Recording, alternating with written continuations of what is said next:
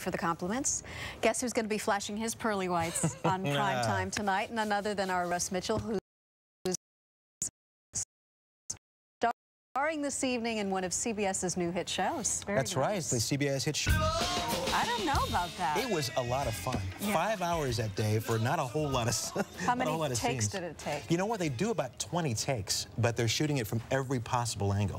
And you're not sure what's going to get on and what's not. Did but you those guys nail were so every cool. single take? Every single take, just like that. See? Any trouble memorizing your lines? Well, my three whole lines, I think I, I was good with. Right. But he was great. He had this whole big, you know, I'm sorry speech to do, and every time he hit it. He, Chris he nailed Neff. it. Wow. Yeah. Wow. It's That's a, why it's a a fantastic show. I haven't missed a single episode of this program. Yeah, it's good. Really it's, smart. It's a great show.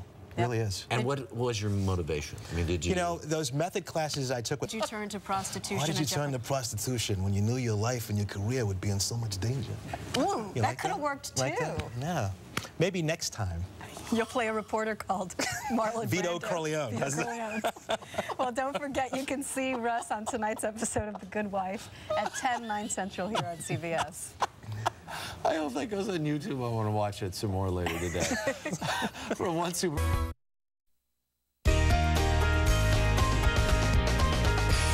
Welcome back to the early show. Grammy and Emmy Award winning singer and actor Harry Connick Jr. eases us into the holiday season with the release of his 25th album. Harry is here singing the Carpenters classic, Close to You. Thank you, Harry. Thank you so much. So, Clive Davis, legendary Yes. record producer, Sony Music exec, comes up to you and says, I want to do this CD featuring your voice singing pop classics. And you say what? I say, who is Clive Davis? Never heard of him. Um, I was blown away. I mean, you know, to have Clive Davis request the opportunity to work with you is a pretty amazing thing. So I said it would be an honor, and then we uh, we started working on it, and then now we have a CD, and I'm really proud of it. And I'm proud to have had the chance to work with Clive. And did you write all of these charts? Because it's just gorgeous. Oh, all thanks. through every, and each one has its own sort of flavor.